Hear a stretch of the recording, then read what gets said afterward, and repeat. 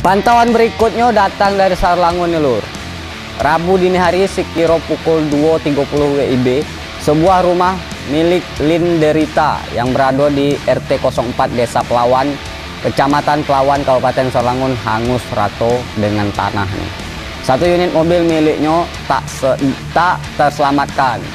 Kobaran api pun membesar sehingga tak terkendalikan. Nah, nih uh, kita semua nih untuk kita semua lah nih. Jangan sampai lalai lah. Kayak mana informasinya? Kita tengok di pantauan. Bang Jack. Rumah milik Lin Derita yang berlokasi di RT 4 Desa Pelawan, Kecamatan Pelawan, hangus terbakar di saat pemilik rumah tengah tertidur lelap. Api diduga berasal dari korsleting listrik.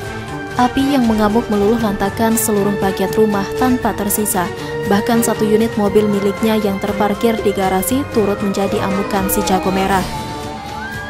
Berdasarkan rilis Damkar Sorolangun, sekira pukul 2.59 waktu Indonesia Barat, Damkar mendapat laporan warga terkait terjadinya kebakaran sebuah rumah. Kemudian sebanyak 5 unit mobil pemadam kebakaran turun ke lokasi untuk memadamkan api. Api membakar rumah di saat pemilik rumah sedang terlelap tidur.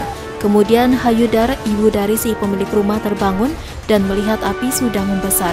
Kemudian Hayudar langsung berteriak minta tolong ke warga sekitar rumah. Warga setempat melakukan pemadaman dengan alat seadanya sebelum petugas pemadam kebakaran datang. Setelah berjibaku melakukan pemadaman api sekira pukul 5.09 waktu Indonesia Barat, api berhasil dipadamkan. Akibat kebakaran tersebut, kerugian ditafsir mencapai puluhan juta rupiah. Beruntung dari kejadian tersebut tidak menelan korban jiwa. Selamat terjadi, Cek TV melaporkan.